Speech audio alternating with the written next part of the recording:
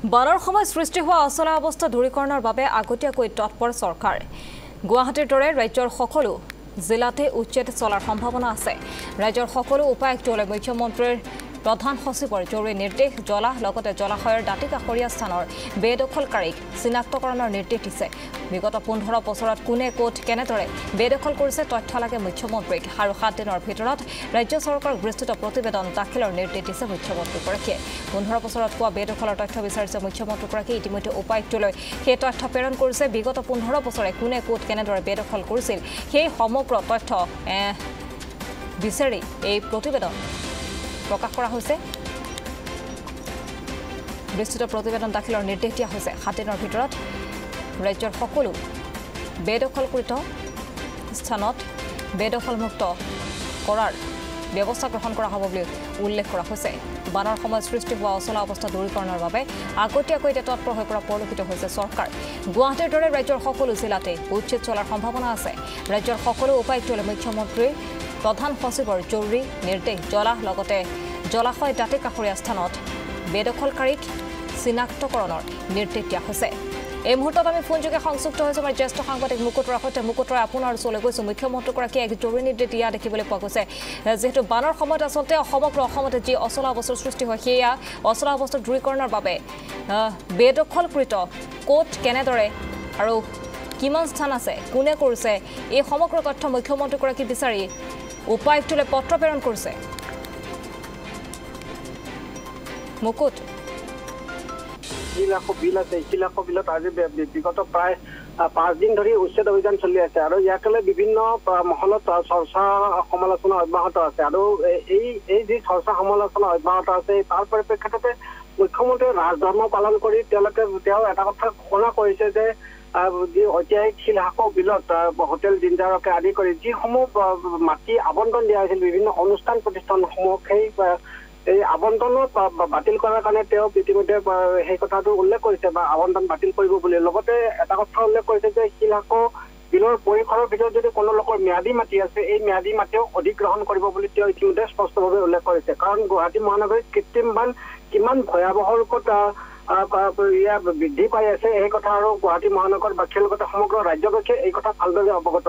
কেৱল গুৱাহাটী মহানগৰীতে নহয় ৰাজ্যৰ বিভিন্ন প্ৰান্তৰ যিসমূহ খাল বিল আৰু তথা জলাশয় তাৰ লগতে নলা নৰ্দমাসমূহত বেদখল চলি আছে। এই সম্পৰ্কত বিগত পোন্ধৰ বছৰ ধৰি ক'ত কেনেদৰে বেদখল চলি আছে ইয়াৰ ভিতৰত এই সম্পৰ্কত মাত্ৰ সাত দিনৰ ভিতৰত এক সপ্তাহৰ ভিতৰত প্ৰতিখন জিলাৰ উপায়ুক্তক ইয়াৰ তথ্য দাখিলৰ কাৰণে নিৰ্দেশ দিছে। কাৰণ গুৱাহাটী মহানগৰীত যি যি অভাৱনীয় পৰিস্থিতিৰ সৃষ্টি হৈছে আজি কেৱল এই জলাশয়সমূহ বা নলা নৰ্দমাসমূহ বেদখল কৰাৰ কাৰণে ভৱিষ্যতে সংশ্লিষ্ট জিলাসমূহৰ এই খাল বিল তথা জলাশয়সমূহ বেদখলৰ ওপৰত অনুৰূপ যি কৃত্ৰিম বানা বা অন্যান্য যি ধৰণৰ ক্ষতি হোৱাৰ যথেষ্ট সম্ভাৱনা আছে। আৰু এই সম্ভাৱনাৰ প্ৰতি লক্ষ্য ৰাখি সাত দিনৰ ভিতৰত ইয়াৰ ডিটেইল ৰিপৰ্ট দাখিল কৰাৰ কাৰণে মুখ্যমন্ত্ৰীয়ে কঠোৰভাৱে নিৰ্দেশনা জাৰি কৰিছে আৰু এই নিৰ্দেশনা কালি প্ৰকাশ পাইছে।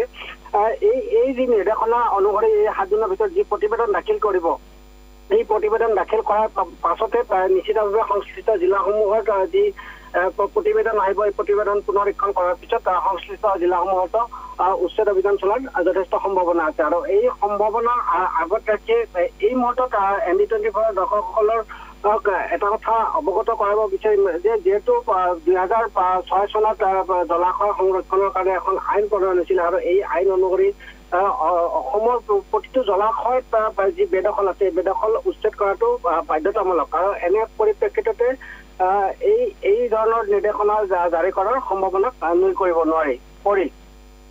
মুকুটৰাই যিহেতু বানৰ সময়ত আচলতে যি ভয়াৱহ পৰিস্থিতিৰ সৃষ্টি হয় ইতিমধ্যে গুৱাহাটীৰ আমি শিলশাকু বিলত দেখিবলৈ পোৱা গৈছোঁ।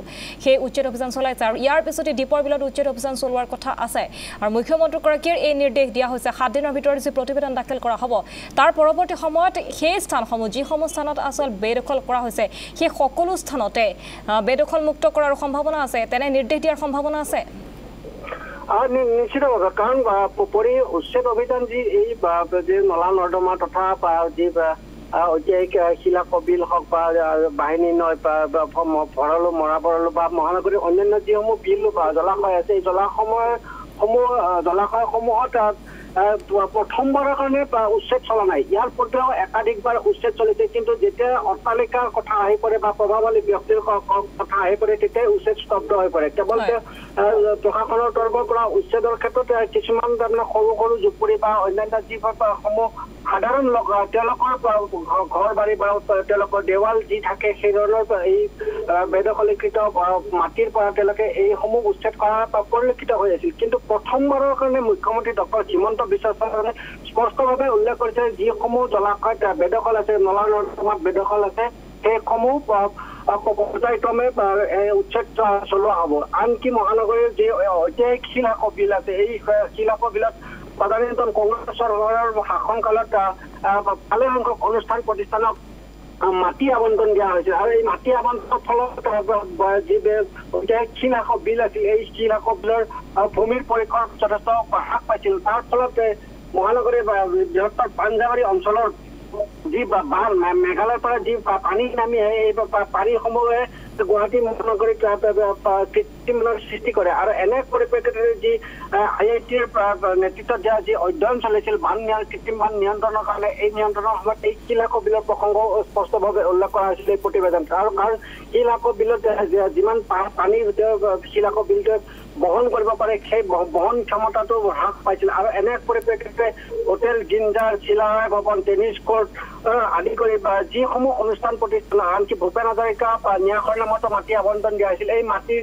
আবণ্টনৰ পৰা যি যি নিৰ্দেশনা আছিল বা আবণ্টনৰ কাৰণে যি নীতি নিয়মৰ আহ, আৰ্হিত আহ, আ- আদালত এই আহ, আবণ্টন প্ৰক্ৰিয়া সম্পন্ন কৰা হৈছিল এই আবণ্টন প্ৰক্ৰিয়া বাতিল কৰাৰ কথা ইতিমধ্যে স্পষ্টভাৱে উল্লেখ কৰিছে আৰু ইয়াৰ বাবে প্ৰায় এমাহ দুমাহ সময় লাগিব বুলি মুখ্যমন্ত্ৰীয়ে উল্লেখ কৰিছে। পৰি। মুকুট ৰয় এই মুহূৰ্তত আপোনাক ধন্যবাদ জনাইছোঁ।